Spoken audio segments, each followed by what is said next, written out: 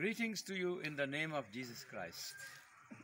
I'm standing here at the site of the church under construction. The name of the church is Mary, Mother of God Catholic Church.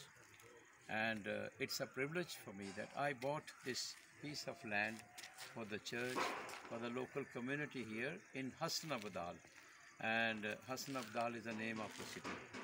And in this city, the name of this uh, area is Sakhinagar.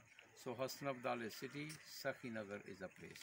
So there was there, there has been no church for many years with, at all. There was no church at all in this area, and people were facing great difficulty to go for mass and for other activities, for celebration of other sacraments.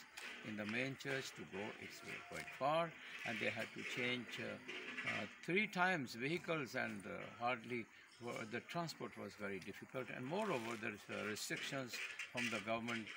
Uh, uh, side to enter that area mm, wa- was quite a difficult. Uh, it was quite an obstacle for them to reach that place. So thank, we, we bought. That's why I bought this piece of land to build this church.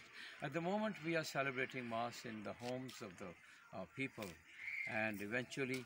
Uh, when the church is completed, then we will start celebrating Mass and sacraments here.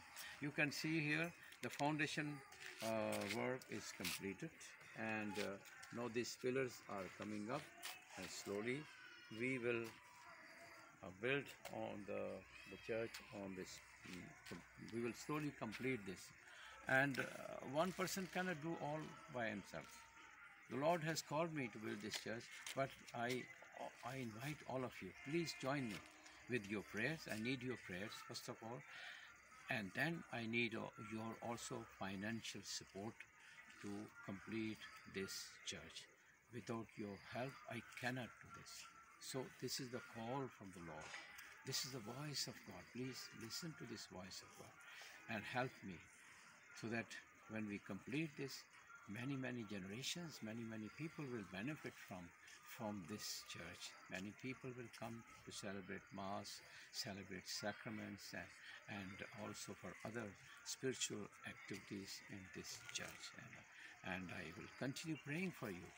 I will be grateful to you for all this, any help if you give me to complete this church.